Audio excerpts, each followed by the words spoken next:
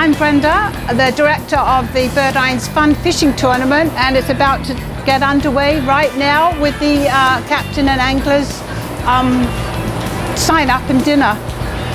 And it's a fun fishing tournament, and I know it's raining, but the people that have signed up are going to have fun out there, and they're going to get all the fish because nobody else is going to be out there. They're going to get tons of fish, tons of food, and it's just a fun thing. We do it every year. It's our 12th tournament, and uh, we get partially funded by the TDC, and we also have um, this auction we're going to do over the weekend, and it's for the, um, let me have a look here, Cancer Foundation of the Florida Keys, and it is not funded by the government, it's just funded by the people.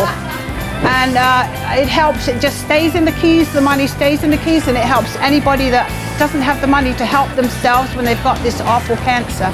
We're going to be watching the water there, the uh, channel, as the boats come in and I get so excited and anybody else here, there's children and mums and dads and all kinds of people here. Some people are not even in it and they're so excited. When the boats come ashore, we take pictures of the fish being taken off the boat and on Sunday they do the same thing and then after Sunday, when it's all checked out, we'll see who was the winners.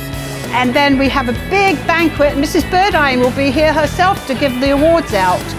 And it's a real good time and there's lots of lots of giveaways, lots of prizes and it's just fun. Everybody has good fun and lots of good food. Okay, this is Alex. He's our fishing champion over the last few years. He's won twice, two years in a row, and he's gonna. He got second place last year, and he's gonna get first place this year. And he, how old are you, Alex? Nine years old. Nine. Wow. So he was pretty young when he did his first prize, right? Are you excited? Yes. This uh, fun fishing tournament is underway, and uh, it is a fun, fun thing, and there's just families here, and I just the kids have a wonderful time and so do the adults and um, if you who don't come are missing out on a fun time, that's all I got to say.